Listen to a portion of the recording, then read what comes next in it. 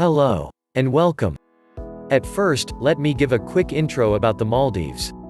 The Maldives is Asia's smallest and lowest country, with an average elevation of just over 1.5 meters above sea level. It's also one of the fishiest places on Earth because of the variety and amount of marine life and its role in the local culture.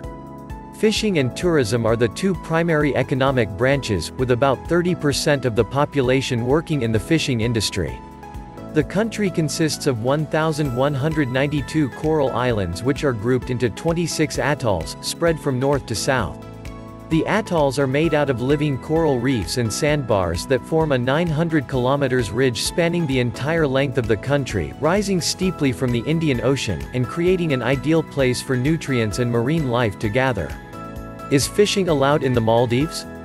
Since so much of their livelihood depends on fish stocks, Maldivians have developed strict fishing regulations that the local authorities widely enforce.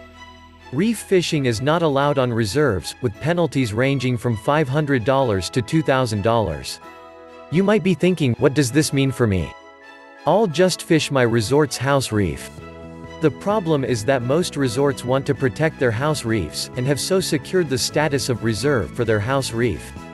This means that you can't go shore fishing there unless the resort management explicitly allows you to. The inhabited islands, villages and towns, and remote, uninhabited islands are okay to fish. Here are a few Maldivian fishing regulations that you should know. 1. If the distance from the beach to the reef edge of the inhabited island is greater than 1,000 meters, fishing beyond 700 meters boundary of the reef is open to all. 2. As long as you obtain permission from your tourist resort, you can fish from the resort's reefs. 3. You may fish the individual reefs that are not part of an island, or sandbank or any other dry area. 4. You may not use nets to fish from the reefs of Male. What you can't do when fishing in the Maldives, 1. Use nets to catch mushimas, mackerel 2. Kill any form of sharks for any purpose. 3. Use guns, explosives, or poison to kill fish. 4. Now that you know the rules, let's get to the fun part. Types of fishing in the Maldives Considering the immense biodiversity of the Indian Ocean, you never know what you can get in these waters. Nevertheless, here are a few common methods for catching the most popular local species. Shore fishing There are literally thousands of species you can hook into, from reef fish to barracuda, bonefish, bream, small grouper, snapper, and jacks, trevally. The most common methods are live bait fishing, fly fishing, and beach casting. The fish in these tropical waters are very strong, which is why we suggest using a strong braided line and wire for lure fishing. Also, don't use expensive lures as they will get destroyed or snagged on the coral within minutes. Jigging, popping with shallow flats filled with large predators. Jigging, popping is what you'd consider the main attraction of sport fishing in the Maldives. You will go after similar species as with shore fishing, with the addition of tuna, large barracuda, red bass, amberjack, and His Majesty, the GT. People book 7-day liveaboards just to have a go at landing a big GT. You'll need heavy-duty gear to pull these beasts out.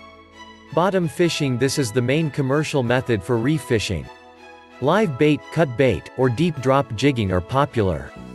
Bottom fishing will get you mostly red snappers, groupers, jacks, scarlet, and job fish, but breams, dogtooth, and yellowfin tuna are also common. Night fishing You will leave your resort at sundown and the dhoni boat type commonly used for night fishing will anchor at the outskirts of your nearest atoll. Expect emperors, snappers, squirrel fish, mackerel, jacks, and other reef fish. Big game fishing If you're in for a real adrenaline rush, the Maldives is among the best big game destinations on Earth with dozens of top-notch big game charters available for day trips.